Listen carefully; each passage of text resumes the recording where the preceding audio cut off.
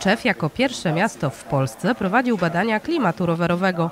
Ankietowanie użytkowników dwukółek miało nie tylko dać obraz rowerowych potrzeb w zakresie infrastruktury, ale też wskazać miejsca niebezpieczne czy potrzeby w zakresie odśnieżania dróg rowerowych. Jakie są efekty tych badań? Wyniki badań kształtują się optymistycznie w porównaniu do innych krajów Europy. Mm, przypadku naszych sąsiadów niemieckich nawet e, powyżej, e, są wyższe niż średnia w- przy tej wielkości miasta.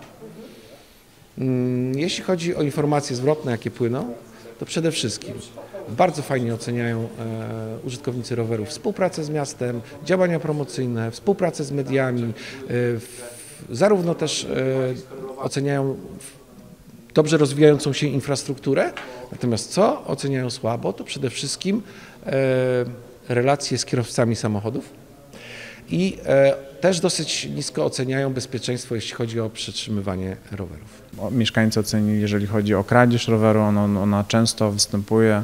Mm, Też wielokrotnie słyszeliśmy o tym, o tym w zeszłym roku. E, No będziemy to wszystko uwzględniać w naszych e, kampaniach, akcjach, edukacji, edukacji którą e, prowadzimy. Niektóre rzeczy myślę, że można też zrobić prościej, niektóre pewnie potrwają miesiące, a może nawet lata, no bo edukacja, e, zmiana jakiejś kultury, no to, to jednak jest jakiś dłuższy proces.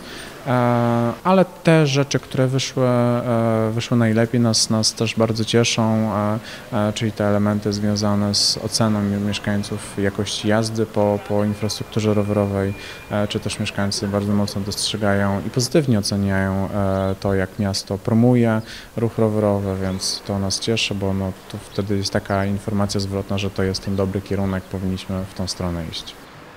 Podobne badania są regularnie wykonywane m.in. u naszych zachodnich sąsiadów. Badanie było realizowane przez Polską Unię Mobilności Aktywnej w porozumieniu z innymi organizacjami rowerowymi Europy zrzeszonymi w Europejskiej Federacji Cyklistów według metodologii Farad Klimatest. Wyniki badania umożliwią stworzenie wielowymiarowego obrazu sytuacji osób korzystających z rowerów w poszczególnych miastach i gminach kraju, dając możliwość wsparcia argumentów na rzecz poprawy warunków jazdy rowerem i jakości przestrzeni publicznych.